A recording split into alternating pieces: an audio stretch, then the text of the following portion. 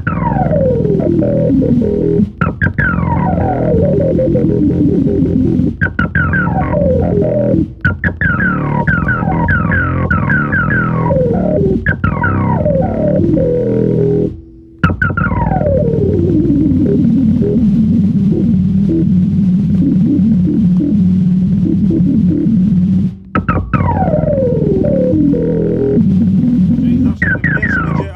Tak, i to w chuj takim ostrym, nie?